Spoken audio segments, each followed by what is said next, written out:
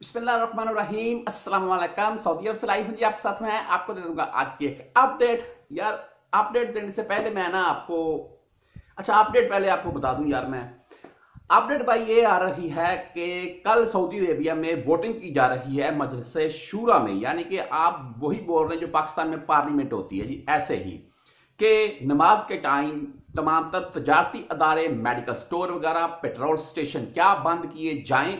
और कुछ बंदे बोल रहे हैं कि इनको बंद अभी नहीं करना चाहिए। इसके मतलब कुछ यानी कि दलीलें भी दी जा रखी हैं, वो भी आप भाई के साथ इसी वीडियो में शेयर कर देता हूँ। और पहले आपको भाई, एक मैं किस्सा सुना देता हूँ छोटा सा। यार किस्सा क्यों सुनाने लगा हूँ? जो मेरे भाई यहाँ सऊदी अरबिया में मुकीम है, वो तो पता है कि जब सलाह होती है उस टाइम सलाह के टाइम भाई मुतवा घूमता है, लैंड क्रोजर के ऊपर बकायदा उसका वो स्टिकर लगा होता है, उसका, आप दूर से उसे पहचान सकते हैं। तो वो स्पीकर में ऐलान कर रहा होता है कि सल्ली सल्ली सल्ली मुस्लिम शक्कर कुलशी यानी कि आप महल्लात वगैरह बंद करें और नमाज़ के लिए जाए। अगर उस टाइम उसके हाथ को बंदा लग जाए, कहीं बैठा हुआ है, मोबाइल चला रहा है, कहीं घूम रहा है तो उसे पकड़ लेते हैं। अच्छा बंदे बोलते थे कि भाई पहली दफ़ा पकड़े छोड़ देते हैं, दूसरी दफ़ा पकड़े, पाँच नमाजें पढ़ाते हैं, उधर 24 घंटे या 12 घंटे बैठा कर रखते हैं, फिर छोड़ते हैं, और तीसरी दफ़ा डायरेक्ट खरूज लगता है, और वो बंदा फिर सऊदी अरेबिया में इंटर नहीं हो सकता है। इस डर की वजह से, इस खौफ की वजह से बहुत से बंदे देखे, यार होंगे यार, मैंने, लेकिन मैंने देखा बहुत से बंदे इस डर की वजह से भी मस्जिद का रुख करते हैं। ये बात माननी पड़ेगी जी कि अभी यार इधर मुतवा आ जाएगा तो मुश्किल बन जाएगी। वो कैसे? वो ऐसे भाई कि हम एक दफ़ा ताइफ में काम कर रहे थे, मैं आपको एक किस्सा ऐसा सुनाने लगा हूँ, जो कि आप सुनकर भाई आपको यकीनन मज़ा आएगा। तो किस्सा क्या है कि मगरब का टाइम हो गया काम पर लगे हुए थे बंदे दो तीन, मैं खड़ा हुआ था, मेरा एक बड़ा भाई है, वो भी साथ में खड़ा हुआ था। उसने मुझको बोला कि यार गाड़ी में जूस पड़ा हुआ है, वो पीना है, तूने तो ले ले।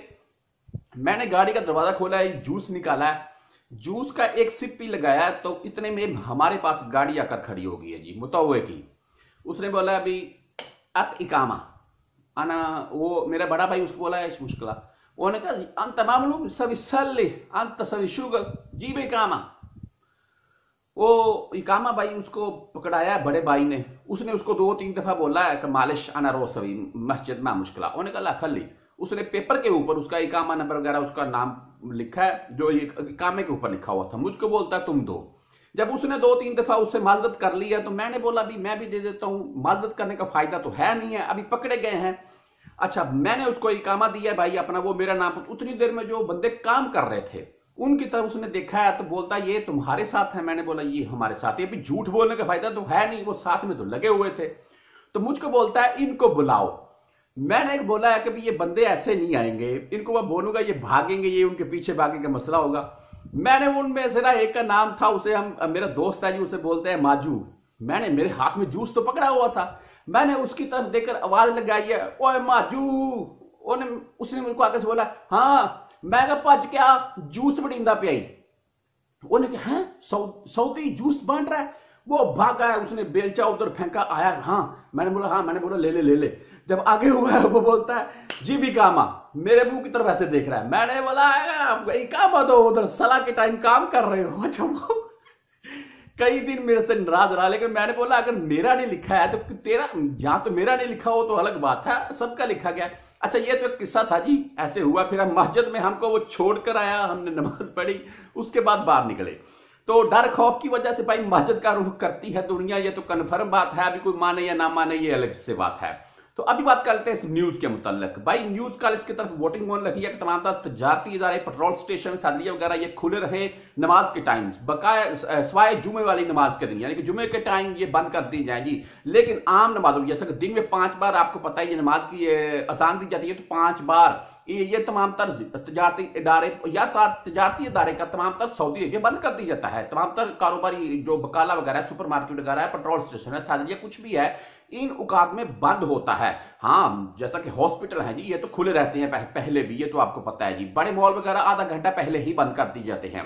तो अभी इस चीज़ के ऊपर यह कहा जा रहा है कि कहीं भी कुरान में या अहादीस की रोशनी में, यानी कि रसूलुल्लाह सल्लल्लाहु अलैहि वसल्लम का कहीं भी फरमान ऐसा नहीं है कि नमाजों के टाइम में कारोबार बंद कर दिए जाएँ। इनको खुला रखना चाहिए ताकि अवाम भाई अपनी ज़रूरत की चीज़ें खरीद सके। जैसा कि मेडिकल स्टोर से अगर कोई मरीज़ है तो वो उसको मेडिसिन चाहिए तो उसको इमरजेंसी मिल सके। और जो पेट्रोल स्टेशन है, उनके ऊपर जो मुसाफिर वगैरह इंतज़ार करते रहते हैं नमाज़ के टाइम का, वो टाइम से भाई अपना पेट्रोल वगैरह डीजल वगैरह गाड़ी में डलवाएँ और आगे का सफ़र करें। या एंबुलेंस वगैरह एंबुलेंस में तो भाई पहले से पेट्रोल होता है, ये तो बात ही अलग है। ये तो झूठ है, जो बंदा ऐसे बोलता है। एंबुलेंस वगैरह में शुक्तों की गाड़ियों में अस्करी गाड़ियों में, इनमें पेट्रोल पहले से ही फुल होता है। तो इसके मतलब कल वोटिंग हो रखी है। दूसरे बंदे ये बोल रहे हैं कि नहीं, ऐसा नहीं करना चाहिए। ये बिल्कुल जैसे निज़ाम चल रहा है, सही चल रहा है। यहाँ पर एक चीज़ मैं और आपके क्लियर करता चलूँ, यार पुराने बंदे जो सऊदी अरेबिया में रह चुके हैं वो ये बोलते हैं, अब्दुल्ला के दौर में गालबन, वो बोलते थे कि जब सलाह होती थी उस टाइम हिशारे यानी कि रोडों के ऊपर गाड़ी जही, किसी हिशारे के ऊपर खड़ी हुई है, वहीं पर खड़ी रहती थी, जब तक हिशारा खुलता नहीं था। उसके बाद इसमें भाई थोड़ी नरमी कर दी गई, ये दुकानें वगैरह बंद कर, अभी भाई ये भी खत्म किया जा रहा है। आप भाई इसके मुताबिक आपकी जो भी राय हो, वो कमेंट में मुझे बता सकते हैं, लेकिन मेरे खुद की राय अभी तक यही मेरी समझ बात आ रही है, अगर मुतवों के डर से भाई बहुत से बंदे मस्जिदों का रुख करते हैं और दूसरी तरफ़, नमाज़ के टाइम में भाई अगर कोई बंदों को पता जैसे कि हमारी अभी तबीयत ऐसी बन गई है हाँ भी असर का टाइम हो गया यार इस टाइम नहीं जाएँगे, बंद हो गए, सलाह के बाद जाओ। बंदों की भाई तबीयत ऐसी बन चुकी है, लेकिन पेट्रोल स्टेशन और मेडिकल स्टोर को लेकर मैं भी थोड़ा एग्री करता हूँ कि इनको सलाह टाइम भी खुला रखना चाहिए। लेकिन जो बकाला वगैरह हैं सुपरमार्केट वगैरह हैं, कपड़ों के मॉल हैं, जो चप्पलों के मॉल हैं, ये बंद रहने चाहिए, सलाह के टाइम भी। आप भाई अपनी राय भी मुझे दीजिएगा, तब तक के लिए अल्लाह हाफिज।